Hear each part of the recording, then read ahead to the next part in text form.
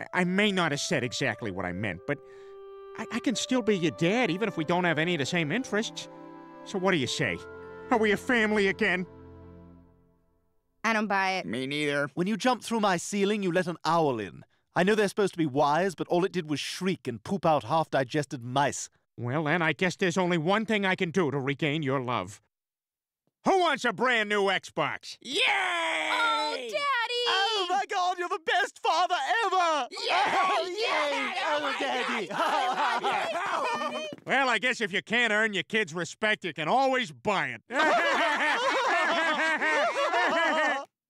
There's some awesome stuff in the garbage.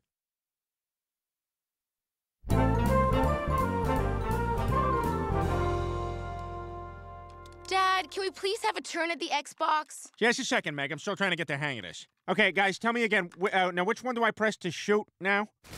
Damn it. Ah, crap. Who's the douchebag who keeps dying? I'm not a douchebag. I'm new. Look, if you're no good, why don't you just go hide till the end? All right, I'll go crouch behind the, uh... Is this a crouch button? Ah, who dropped the grenade? Idiot! Put it in a plane! Moron! You suck!